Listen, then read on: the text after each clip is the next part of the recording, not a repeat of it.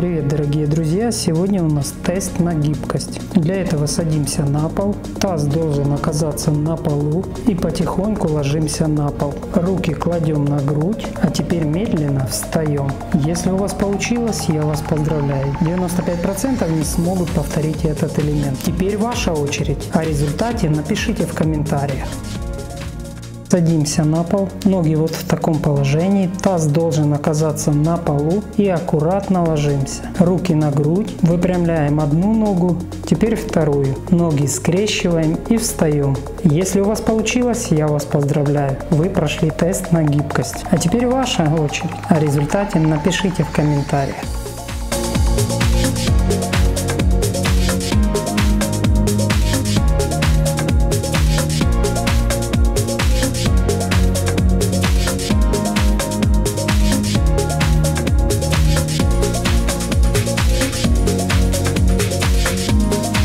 Друзья, подписывайтесь на мой полезный канал на YouTube для всей семьи. Каждый найдет для себя что-то интересное. Благодарю.